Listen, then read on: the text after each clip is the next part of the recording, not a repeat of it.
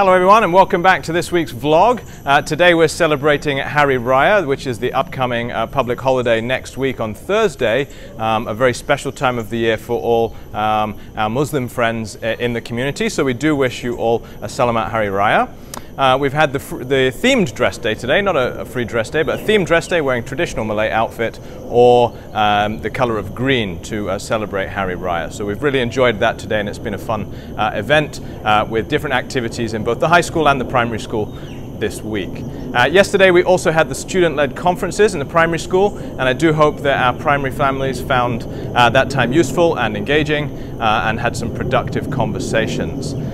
Today is also the last day for the grade 10 as they go on to their exams next week for the MYP. Uh, so we wish them all the best and they'll be doing those exams over the next two weeks as our grade 12 also continue with their exams.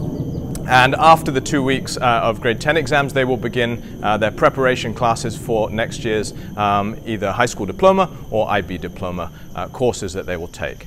Um, and the rest of the students in the high school also have internal exams coming up, and they start on Monday the 17th of May and will take three or four days depending on the grade level. So do look out for those events coming up.